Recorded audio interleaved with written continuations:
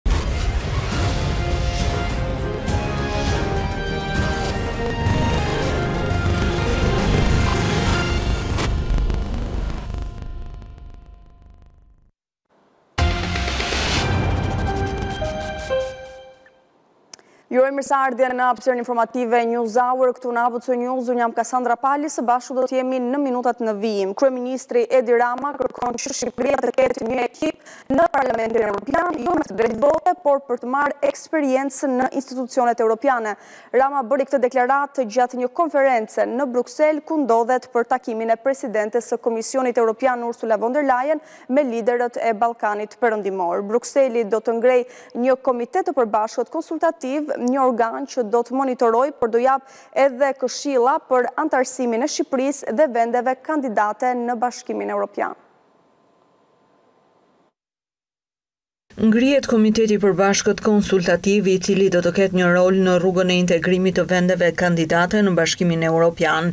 Kryeministri Edi Rama në një konferencë me presidentin e Komitetit Ekonomik dhe Social Europian Oliver Ropke, tha se synimi i Shqipërisë është që të bëhet pjesë e Parlamentit Europian për të fituar sa më shumë eksperiencë. Ajo që kërkojmë ne është që të bëhemi gjithnjë e më shumë pjesë e këtyre organeve të BE, jo për shkak të parave, por për ekspertizën që kjo gjë sjell, për faktin që ne, anëtarët tanë do të kuptojnë më mirë se cila është e ardhmja kur të bëhemi shtet anëtar dhe për këtë nevojë që ne kemi për të fuqizuar lidhjet tona me anën e një pune të vërtetë nga të dyja palët dhe në mbyllje dëshiroj të them që ne po avokojmë që ne të jemi të pranishëm edhe në Parlamentin Europian, sigurisht jo me deputetë, që do të kenë të drejtën e votës, por me ekipet tona të cilat do të fillojnë të përgatiten për fazën e ardhshme, për atë fazë kur ne do të kemi eurodeputetët tanë në Parlamentin Europian. Presidenti i Komitetit Ekonomik dhe Social Europian, Oliver Ropke, tha se asnjë prej vendeve të Ballkanit nuk duhet të zhgënjehet, duke shtuar se integrimi duhet të bazohet tek merita. Ritmi i integrimit mund të jetë i ngadaltë, gjithsesi procesi duhet të jetë të orientuar nga rezultatet, i besueshëm dhe i bazuar tek merita, dhe nuk duhet të largojmë vëmendjen dhe sytë nga ky moment i rëndësishëm. Unë e di se ju jeni mbështetës shumë i fortë i Komitetit tonë dhe ne qëndrojmë krah për krah me shoqërinë civile të Shqipërisë në mënyrë që të mbështesim aspiratat tuaja për t'u bërë shtet anëtar në BE. Kreu i qeverisë do të marrë pjesë më pas në takimin e organizuar nga presidentja e Komisionit Evropian Ursula von der Leyen me liderët e vendeve të Ballkanit Perëndimor. Në këtë takim, von der Leyen dëshiron që të dëshmojë se edhe në mandatin e ri do t'i kushtojë kujdes të veçantë rajonit dhe në përgjithësi procesit të zgjerimit të Bashkimit Europian. Familjet e disa pronarëve të truallit te ish-kompleksi Partizani janë mbështetur fort nga ish kryeministri Sali Berisha që të marrin pronat e tyre. Një nga të pandehurit e kësaj dosje, Xhimi Begeja, pranon ndërhyrjet e Jamarbër Malltezit e vjehrrit të tij për të marrë sa më parë pronat.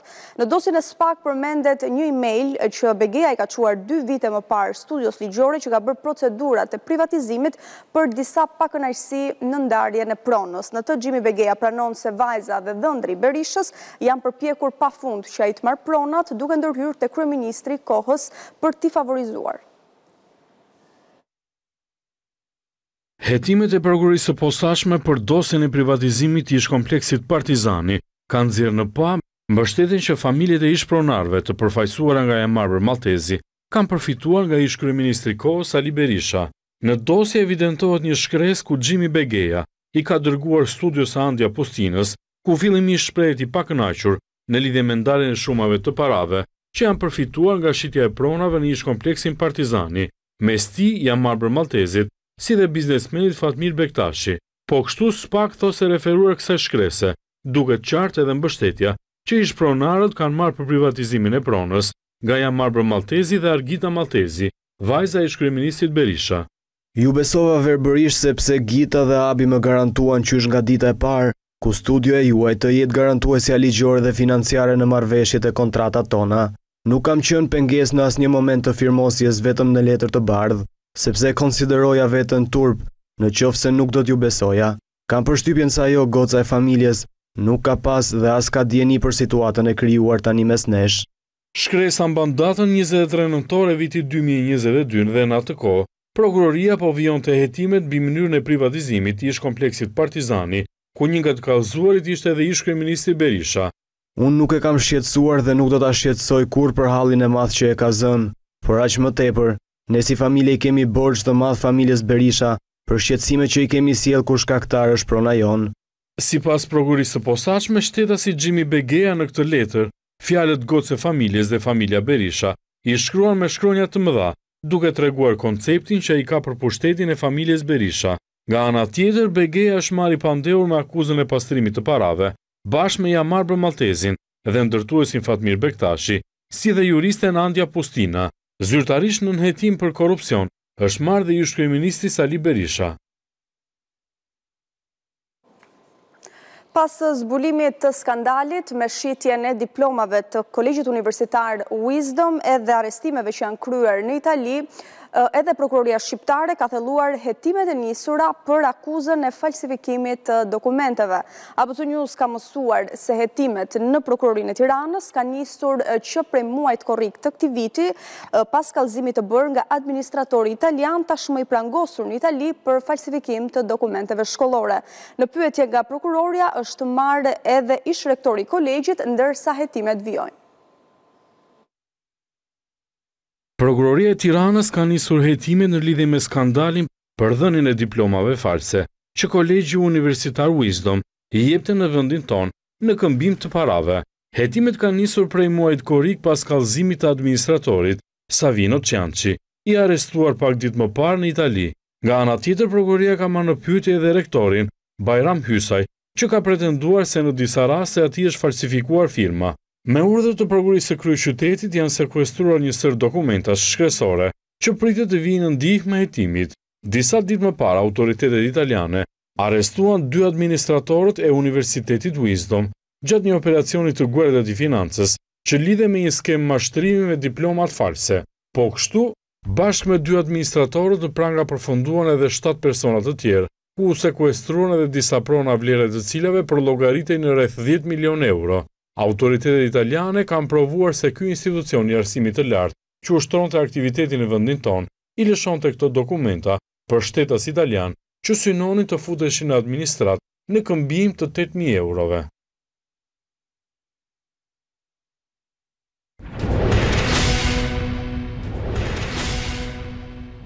Pas marrjes së mandatit nga Komisioni Qendror i Zgjedhjeve, Vangjel Tavo mori edhe dritën jeshile të Gjykatës së Vlorës për drejtimin e bashkisë së Himarës. Pas verifikimit, gjykata e ka vlerësuar të ligjshëm mandatin Duke i hapur Tavos rrugën për t'u betuar si kryetar bashkie përpara Këshillit Bashkiak. Gjykata e Vlorës i ka dhënë Vangjel Tavos mandatin e kryetarit të bashkisë së Himarës rreth një javë pasi rezultati u certifikua zyrtarisht nga Komisioni Shtetëror i Zgjedhjeve. Pasi është njohur me dokumentacionin përkatës, gjykata e ka vlerësuar të ligjshëm mandatin. Në dymbëdhjetë shtator, KAS ashtu dhe Kolegji Zgjedhor certifikua në zgjedhjet e katër gushtit në Himarë, duke vlerësuar se rezultati ishte i pakontestueshëm, pasi nuk u gjet asnjë shkelje. Marrja e mandatit edhe nga Gjykata e Vlorës i hap rrugë betimit Vangjel Tavos në Këshillin Bashkiak e mandej marrjes së detyrës zyrtarisht. Zgjedhjet në Himarë u përsëritën më katër gusht pasi mandati i Belerit u shpall i pavlefshëm për shkak të dënimit nga Apeli i GKKO-së me dy vite burg për blerje votash. Tavo, kandidati i Partisë Socialiste, e fitoi me një diferencë prej një mijë e katërqind e shtatëdhjetë e shtatë votash kundrejt rivalit opozitar, Petro Gjikuria. Kuvendi i Shqipërisë hapi dyert për homazhe për ish-deputetin Gert Bogdani që humbi jetën një ditë më parë në moshën dyzet e katër vjeçare, deputetë, politikanë, bashkëpunëtorë, miq dhe të afërm i dhanë lamtumirën Gert Bogdanit. Ai hyri në parlament si deputet i Partisë Demokratike në vitin dy mijë e nëntë duke qenë ligjvënës për dy mandate. Parlamenti hapi dyert këtë të enjte jo për rutinën e zakonshme në këtë ditë jave, por për të pritur aty politikanë e qytetarë që nderuan dhe thanë fjalën e fundit për politikanin Gert Bogdani, që të mërkurën iu ndërprej jeta në moshë të re nga një arrest kardiak. Familja e tij priti në trishtim e lot ngushëllimet nga miqtë, zyrtarët më të lartë të vendit dhe politikës, që lanë shënim kujtimet e tyre për modelin që përcolli tek të gjithë Ish-deputeti demokrat. Familja e madhe e tij politike humbi një njeri me vlera të jashtëzakonshme morale dhe politike për faktin që prezantoi Shqipërinë Demokratët qëndruan në oborr të parlamentit gjatë gjithë kohës, ndërsa për gati tre orë u kryen homazhe.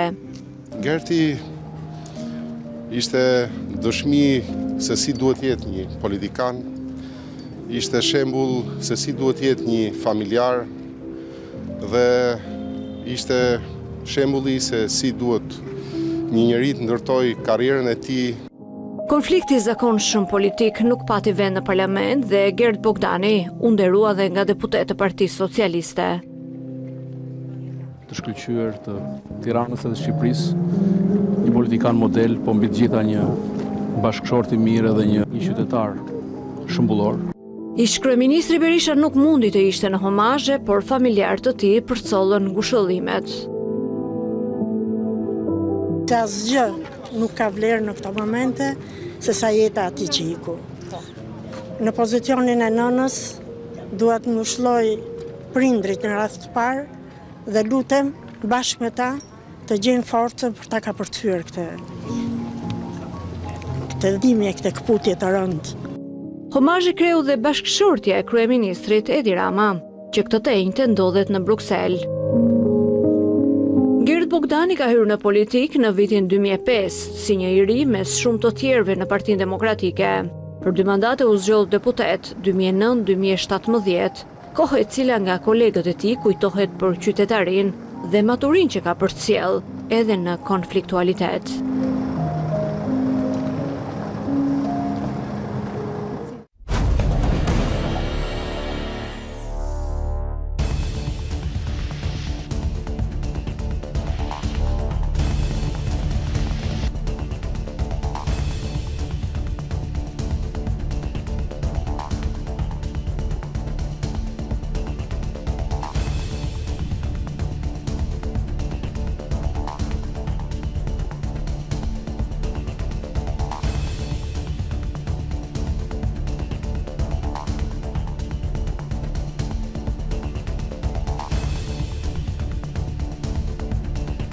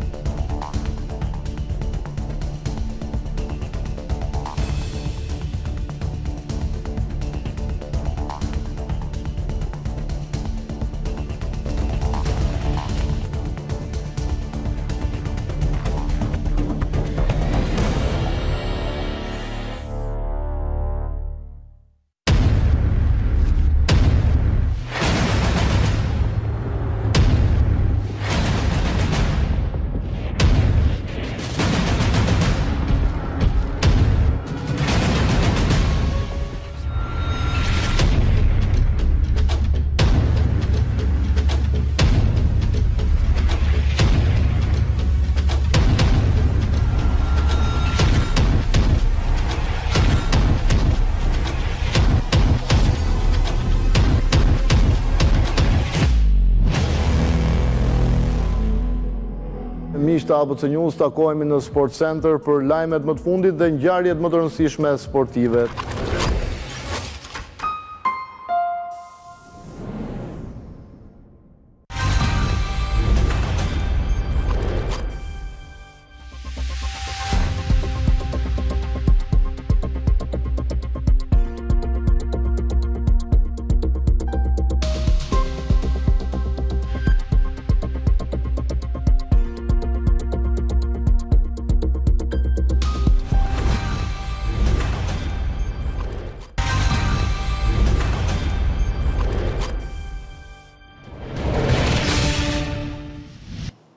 Jemi rikthyer në transmitim të drejtpërdrejtë, ndalemi në të tjera zhvillime kryesore të ditës, se nënë e bir humbën jetën në një fshat të Hasit nga zjarri që ra në banesën e tyre, pasi ka shpëtuar bashkëshorten 57 vjeçari, është futur për të nxjerrë nënën e moshuar nga shtëpia e përfshirë nga flakët, por të dy kanë humbur jetën tragjikisht, ndërkohë që policia po heton për shkaqet e zjarrit. Nënë e bir humbën jetën orët e para të mëngjesit të së enjtes pasi shtëpia e tyre në fshatin Nikoliq të Hasit u përfshi nga flakët. Ngjarja e rëndë ndodhi rreth orës së 2. Mësohet se i pari që konstatoi flakët ishte Rexh Lushi, i cili nxitoi për të nxjerrë nga banesa bashkëshorten, dhe nënën e tij të moshuar Fatime Lushi. Pasi shpëtoi gruan, pesëdhjetë e shtatë vjeçari u fut sërish për të ndihmuar nënën tetëdhjetë e dy vjeçe, por për shkak se flakët u përhapën në të gjithë shtëpinë, ata nuk mundën të dilnin dhe ndërruan jetë brenda ndërtesës. Gjoja në orën e dy kur kena marrë vesh kur kena ardhur, gruaja tregoi se domethënë ka hyrë me nxjerr nënën dhe ka ka ngel. Në shtëpi kush ka qenë në momentin e rënies së zjarrit? Ka qenë djali, nana edhe reja, nusja e djalit. Po. po. Djali këtu banon. Po. Djali ka qenë këtu. Ëh. Uh Në ashi djem i ka në migrim. Sa fëmijë kanë në migrim? Domethënë 3. Përveç jetëve të humbura, zjarri ka lënë pas edhe dëme të shumta materiale. duke shkrumbuar gjithë shtëpinë. Paraprakisht dyshohet se zjarri që u mori jetë nënë e bir u shkaktua nga një shkëndijë elektrike. Megjithatë, provat e mbledhura në vendngjarje nga një grup hetimor pritet të hedhin dritë mbi shkaqet dhe rrethanat e tragjedisë.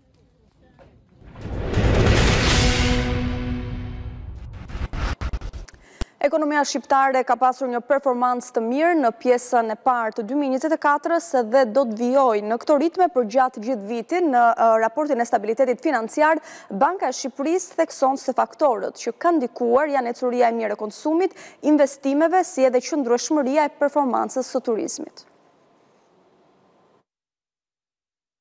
Ecuria ekonomike në vend vlerësohet pozitive nga Banka e Shqipërisë, në raportin e fundit të stabilitetit financiar për gjashtëmujorin e parë të këtij viti, theksohet se gjendja financiare e familjeve dhe e bizneseve është përmirësuar dhe kjo ecuri do të vijojë përgjatë gjithë vitit. Faktorët që kanë ndikuar janë kryesisht investimet, por edhe sektori i turizmit. Rritja ekonomike është manifestuar kryesisht në rritjen e konsumit dhe të investimeve private dhe është mbështetur në zhvillimet pozitive në tregun e punës, në rimëkëmbjen e tregtisë dhe të shërbimeve dhe në kushte më të lehtësuara të financimit. Rritja e PBB-së në fund të tremujorit të parë të vitit shënoi tre pikë gjashtë përqind dhe kjo rritje kishte një bazë të gjerë në drejtim të sektorëve. Sipas Bankës së Shqipërisë, edhe kreditimi ka pasur rritje, sidomos për blerjen e pasurive të paluajtshme, ndërsa huat e këqija vlerësohen të qëndrueshme. Përsa i përket qëllimit të përdorimit, rritja e kredisë ka financuar më tepër sektorin e pasurive të paluajtshme, qoftë për individët ashtu dhe për sektorin e biznesit. Sipas vrojtimit që bëjmë me bankat, bankat presin që kjo prirje për një kërkesë të fortë, dhe të qëndrueshme nga të dy sektorët të vijojë edhe gjatë gjysmës së dytë të vitit. Gjashtëmujori i parë i këtij viti është karakterizuar nga një rënie e shpejtë e normës së inflacionit, ndërsa kjo ecuri ka reflektuar efektin e normalizimit të politikës monetare mbi çmimin e monedhës vendase si dhe rënien e inflacionit të importuar. Mbetemi tek ekonomia, në Gjirokastër çmimet e banesave po kapin shifra rekord edhe pse ato shiten deri në 800.000 euro, janë rritur kërkesat nga të huaj për të blerë shtëpi karakteristike. Zona më e preferuar mbetet ajo muzeale, ndërsa më të interesuar për të investuar janë kryesisht shtetasit nga Italia. Zhvillimi i turizmit dhe kërkesat e larta për të investuar kanë rritur tepër çmimet e shtëpive në Gjirokastër. Pranë zonës muzeale banesat karakteristike shiten nga gjashtëdhjetë mijë deri në tetëqind mijë euro. Më shumë janë të interesuar për zonën muzeale, faktikisht, për shtëpitë karakteristike, por që janë të rrënuara. Ideja është për t'i rregulluar vetë, çmimi më i lirë është për banesë është gjashtëdhjetë mijë euro, kuptohet nga pjesa e sipërfaqes, dhe më e shtrenjta fare që kemi patur të listuar ka qenë tetëqind mijë euro. Por çmimet në rritje nuk po i pengojnë të huajt të zgjedhin qytetin e gurtë për të investuar në pasuri të patundshme. Maurizio Massimo Frezza nga Italia është një prej tyre. Në një pjesë të shtëpisë do të jetojë vetë e në tjetrën do të presë turistë që siç beson, pas hapjes së aeroportit do të jenë më të shumtë në Gjirokastër. Kam investuar më parë në vitin dy mijë e dymbëdhjetë dhe kam pasur një restorant të bukur në Ksamil, por më vonë u detyrova ta shes. Saranda nuk është shumë e njohur në Europë, ndërsa në Gjirokastër me hapjen e aeroportit do të vijnë edhe më shumë turistë ndaj besoj se qyteti Do të zhvillohet akoma.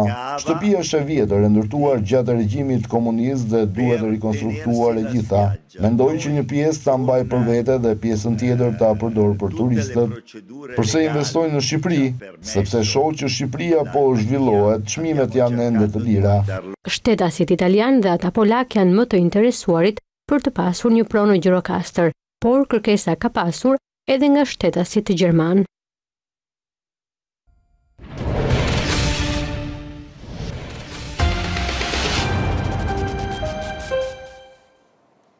Po ndiqni drejtpërsëdrejti News Hour, do të ndalemi në të tjera informacione. Në Shqipëri vazhdon pushteti i burrave të moçëm dhe kjo jo vetëm si traditë, por pasi gjysma e familjeve shqiptare, sipas censit më të fundit, kanë kryefamiljarë në moshën mbi 60 vjeç.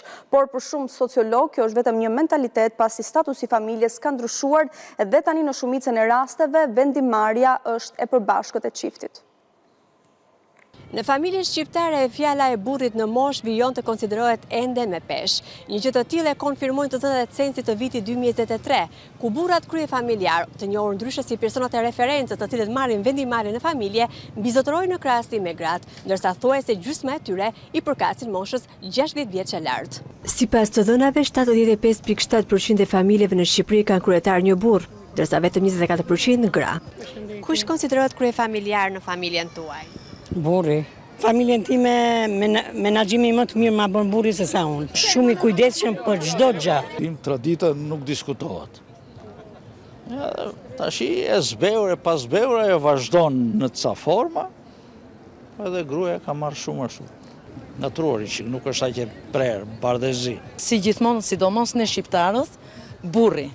Një mashkull që është familjar, gjithmonë duhet vlerësuar. Për sociologët, familja shqiptare ka evoluar dhe statusi i burrit si kryetar i familjes konsiderohet kryesisht si formal, pasi vendimmarrjet e rëndësishme merren në kompromis mes bashkëshortëve. Ka mbetur një traditë që kryefamiljari quhet burri. Por në fakt, kjo nuk shpreh realitetin. Realisht kryefamiljar në familje është personi që ka më shumë pushtet në kuptimin më të mirë fjalës për zgjidhur problemet ekonomike, sociale, psikologjike që menaxhon familjen. Në traditën shqiptare dhe në shumë vende të tjera të botës, është kjo situatë. Në legjislacionin shqiptar nuk ka përkufizim të caktuar për kryefamiljarin. Në shumë dokumenta figuron atësia vetëm. Duhet të figurojë dhe mëmësia. Edhe për mua, njerëzit duhet të prezantohen jo vetëm me emrin e babait, por edhe të nënës. Madje unë do thoja që emri i nënës duhet të ishte i pari. Çështja e kryefamiljarit tani përcaktohet në mënyrë automatike kur është bashkëshorti gjallë. Por kjo mundet të zgjidhet me mirëkuptim ndërmjet babait dhe nënës. Dhe mirëkuptimi bën pastaj që, që të ndryshojë raporti i kryefamiljarëve. Në këto dokumente pasqyrohet një situatë burokratike zyrtare e traditës. Sipas sociologut Zyhdi Dervishi, ndonëse burri konsiderohet si kryefamiljar, Në familje, gruaja luan gjithmonë një rol të rëndësishëm. Janë me dy pushtete. Kanë pushtetin jashtë familjes, pra që sjellin të ardhura ekonomike, por dhe pushtetin brenda sepse janë ato që gatuajnë, që lajnë, që fshihin shtëpinë dhe ata që kujdesen më shumë për fëmijët e vegjël për shkollimin e tyre. Burri kryetar i familjes që ruan pozita më të forta vihet re më së shumti në zonat rurale sesa në ato urbane. Kemi mbërritur në fund të NewsHour, të tjera zhvillime nga vendi, rajoni dhe bota i ndiqni në faqen zyrtare abcnews.al, ABC News e gjeni edhe në radio në frekuencën njëqind e pesë FM. Unë ju falenderoj për vëmendjen tuaj, bashkë ndajemi këtu.